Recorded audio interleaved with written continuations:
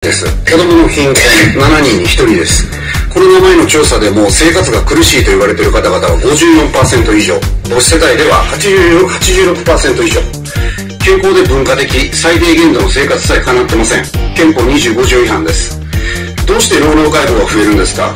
どうして介護離職、そして介護殺人が減らないんですか？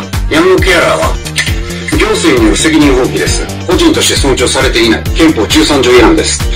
税金の取り方を歪め、労働環境を破壊し、儲かったのは一握りの資本家のみ。憲法15条違反です。